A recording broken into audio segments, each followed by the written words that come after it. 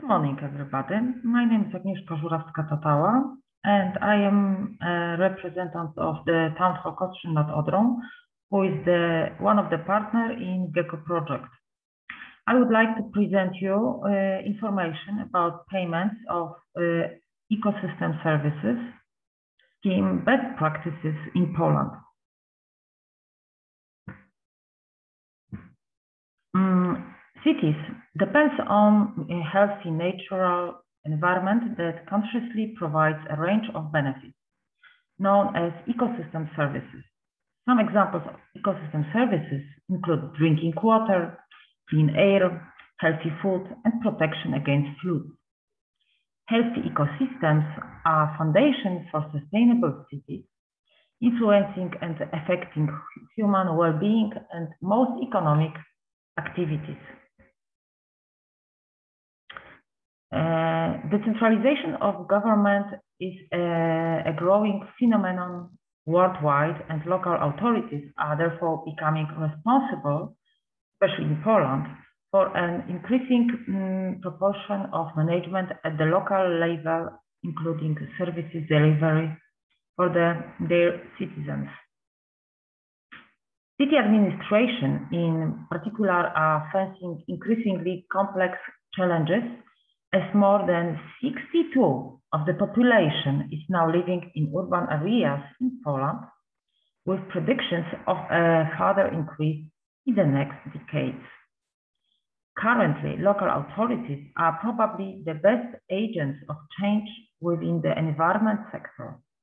This is because they generally manage uh, substantial budgets, they have strong executive powers, with the relatively short command structures and they operate at grassroots level. In Poland, PES is using as an umbrella term for the entire suite of economic arrangements used to reward the uh, conservation of ecosystem services. The term PES is used to describe schemes in which the beneficiaries or users or ecosystem services providers mm, payment uh, provide payment to the uh, stewards or providers of ecosystem services. In practice, PES often involves a series of payments to land or other natural resource managers in return to, uh, for a guarantee, guaranteed flow of ecosystem services. Over and above what would uh, otherwise be provided in the absence of payment. Payments are made by the beneficiaries of the services in question, for example, individuals, communities, business, or government acting on behalf of various parties. Precipitation, uh, uh, precipitation is the primary source of water in the city that initiate, uh, initiates a number of positive processes in the urban space, such, such as cleaning the air uh, and also improving residential, residential living conditions. Uh, precipitation allows greenery and small uh, aquatic ecosystems to survive in the heavily transformed urban environment, shaping a healthy living environment for residents. Well-planned areas of greenery prevent flooding and urban drought and create safe space for stormwater collection.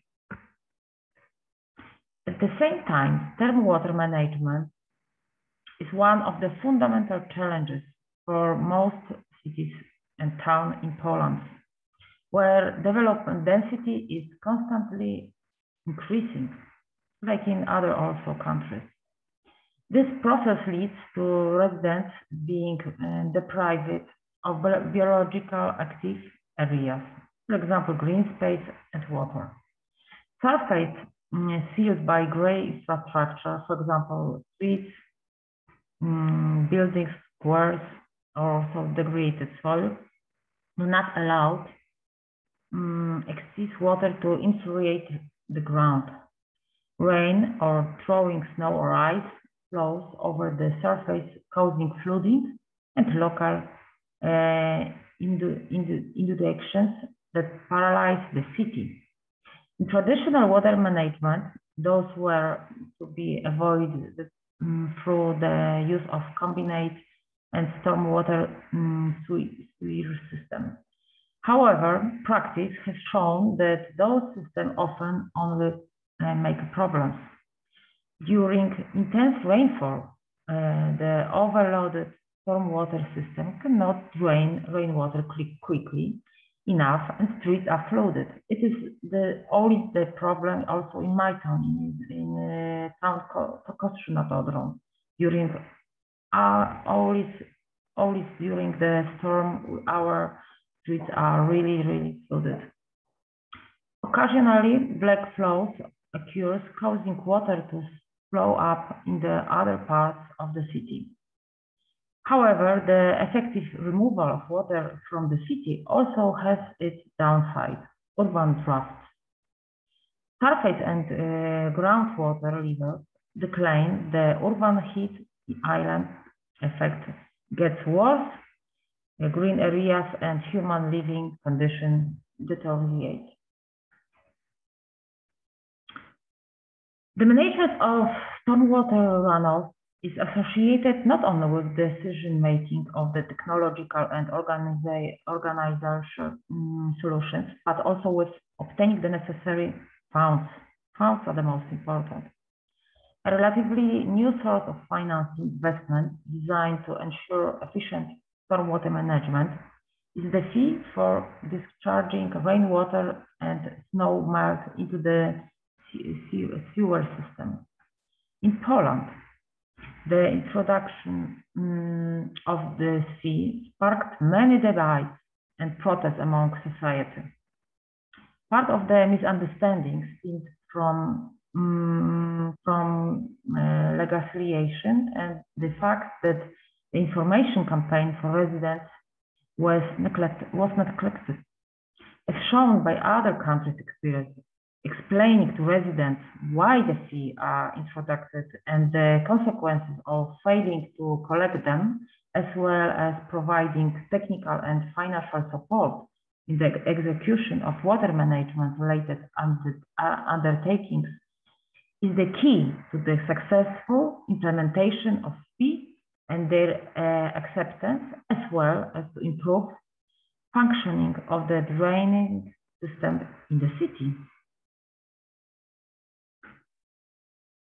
Um, uh, subsidies and the form of financial assistance for investment that meet legal requirements as well as educational and organizational activities aimed at environment protection, including the protection of water. The principles of uh, granting subsidies are not directly based on the market mechanism, but on environment policy guidelines or government uh, programs. In Poland, undertakings are subsidized primarily from environmental protection and water management funds. The revenues came from environment fees and penalties. In practice, the following types of subsidies are applied. First, it's subsidies and loans from environment protection and water management funds. Second, it's loans with a um, rate for investment related to environment protection. For example, offered by a very popular uh, bank, Environment Protection Bank. It's a Polish bank. And the last one is a budget subsidy. In the three uh, next slides, I am presenting examples of subsidies within the framework of programs that were designed to motivate residents, entrepreneurs, and local governments to apply solutions aimed to uh, increasing water um, retention and enhancing flood protection.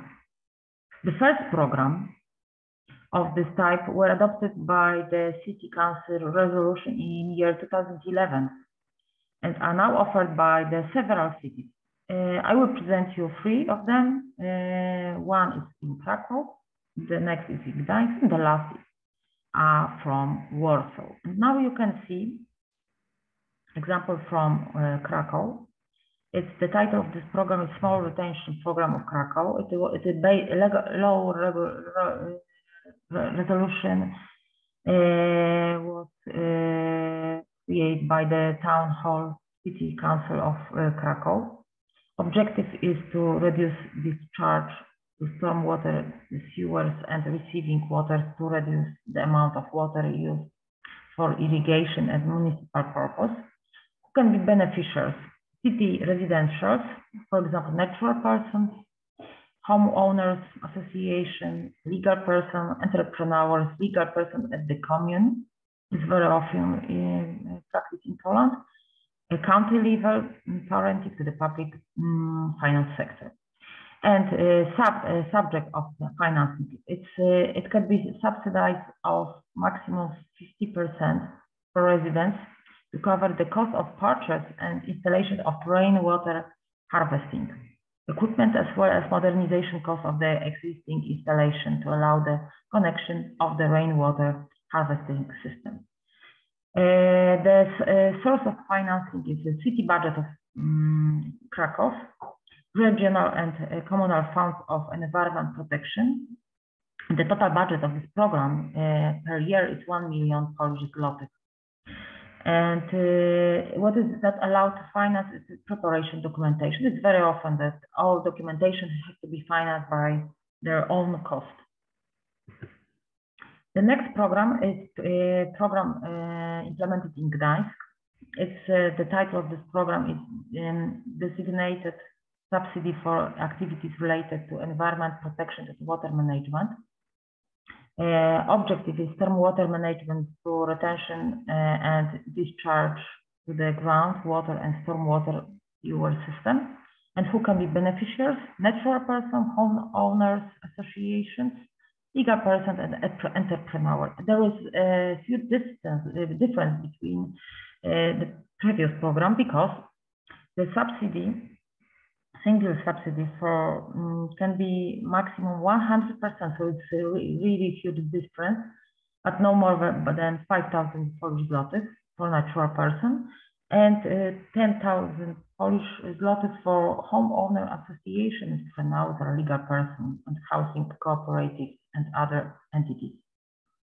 And uh, source of financing is the budget of City of Gdańsk as well as uh, environment fees and penalties uh, and uh, penalties for, for tree and uh, also um, removal.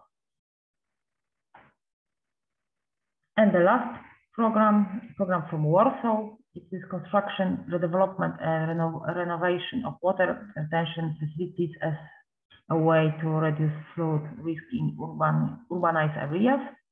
You can see that uh, beneficiaries can be local um, authorities, National Forest uh, Holding State for, uh, Forest, Kampinos National Park, Landscape Park, and organization units. And there is also the same like in the previous one, up to 100 eligible costs can be financed by the subsidy. Mm, the financial limit for subsidies is 50% uh, of eligible costs associated with the activity provided that uh, as uh, that a loan is taken into the amount of latest 50% of eligible costs. And the source of financing is uh, Regional Fund of Environment Protection and Water Management. Uh, so you have noticed from my presentation that Poland's current system of financing stormwater management related activities provides possibilities for funding environmental friendly investments. Some of those funds came from water and uh, switch companies, environment fees and administration finances, as I have mentioned before, and also from cities of uh, budget of those cities, and some of come from uh, loans and subsidies from state budget and environment and environment protection funds. But my personal opinion uh, is that the most important now is to enhance of education campaigns similar to those that have been success successfully carried out in the other countries. Those should be included in the implementation phase of fees for stormwater and snow melt collection via the fuel system. Education campaigns should make residents aware of the need to charge this type of fee and explain the possibilities of the reduction of implementation through sustainable and well uh, throughout stormwater management. Uh, thank you for your attention. This is the end of my presentation. I hope I have cleared all those tasks and I hope that we can um, also meet during personal contact or by phone or by ma mails or other um, way to explain you other points of, of those uh, problems. So uh, thank you very much for your attention and I wish you all the best and, and I am sending you best regards from Poland. Thank you again.